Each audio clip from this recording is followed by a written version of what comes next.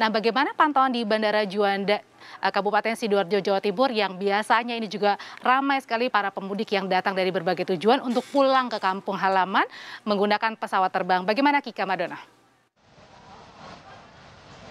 Ya, Audrey dan juga saudara sudah mulai tampak ramai sekali mulai dari jam 5 pagi tadi dan bahkan untuk mengakomodir para calon penumpang maupun penumpang yang akan tiba di Bandara Juanda. Saat ini pihak Angkasa Pura ini telah menambahkan jam operasional untuk bandara. Jadi yang biasanya dari jam 8 pagi sampai dengan jam 10 malam, saat ini untuk jam operasional bandara sudah mulai dibuka sejak pukul 5 pagi sampai dengan jam 10 malam. Dan tentunya jumlah penumpang yang tiba maupun yang berangkat dari Bandara Juanda ini dari hari ke hari semakin mendekati lebaran juga semakin banyak.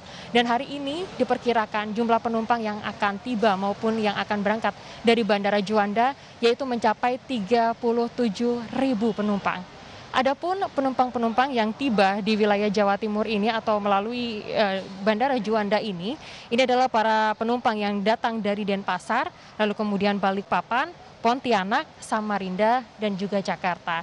Sementara itu, saudara, untuk keberangkatan juga masih cukup tinggi dari Jawa Timur ini menuju ke sejumlah daerah di Indonesia. Diperkirakan untuk hari ini sebanyak 17 ribu calon penumpang akan diberangkatkan dari Surabaya menuju sejumlah daerah yang ada di wilayah Indonesia. Dan untuk mengakomodir kebutuhan dari para calon penumpang tersebut, saat ini sebanyak 240 penerbangan sudah dipersiapkan selama masa angkutan mudik lebaran.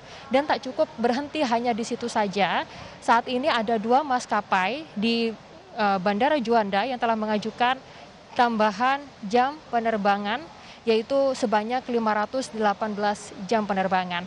Untuk tambahan penerbangan ini atau tambahan jam penerbangan ini sudah disetujui dan sudah mulai berlaku sejak tanggal 20 April sampai dengan tanggal 20 Mei mendatang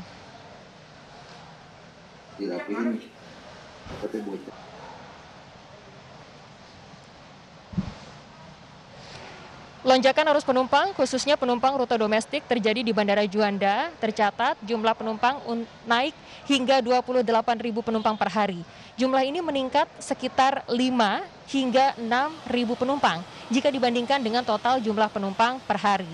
Diperkirakan jumlah pemudik terus naik hingga satu hari jelang lebaran mencapai 37 ribu penumpang dalam per hari. Sementara untuk arus balik sendiri diperkirakan akan mencapai 39 ribu penumpang pada empat hari setelah lebaran.